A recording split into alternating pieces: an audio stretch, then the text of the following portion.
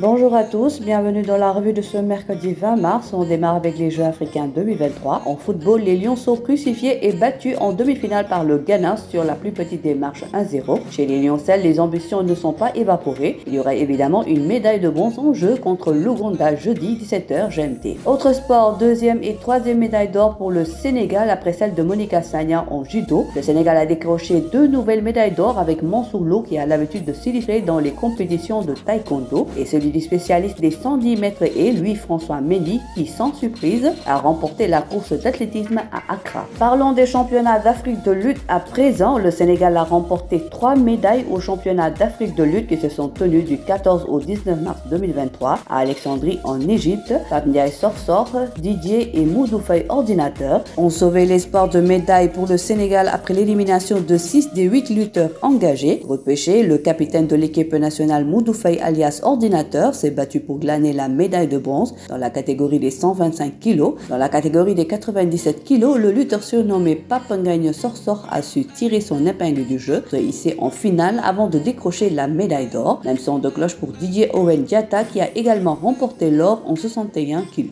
Enfin, l'amble lac de guerre de Zarco plébiscité par les amateurs à travers l'émission quotidienne Warsahalad de ce mardi. Les internautes de 8 sports ont donné leur préférence sur le prochain adversaire de lac de guerre 2 qui jusque-là reste le seul VIP sans combat. Le constat est quasi unanime quand il s'agit de parler de l'acte de guerre 2, les promoteurs qui pour la plupart réfléchissent à deux fois avant d'organiser son combat. Cependant, la majorité des internautes de Wii Sport ne voient pas d'autres adversaires plus à même d'affronter l'acte de guerre 2 que Zarco. Voilà, c'est tout pour aujourd'hui. L'actualité sportive continue sur nos plateformes digitales.